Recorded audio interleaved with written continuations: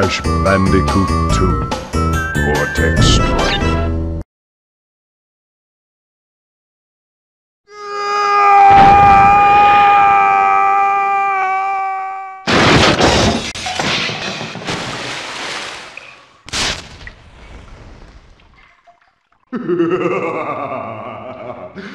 Crystals.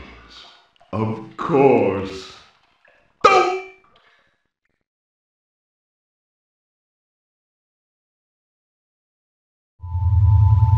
But Dr. Cortex, to reach full power, we need not only your master crystal, but also the remaining 25 slave crystals from the surface. How do you expect to retrieve them when we don't have any earthbound operatives left? You fool!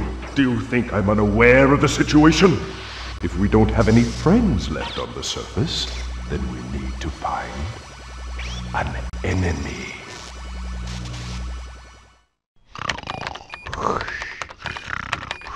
Crash?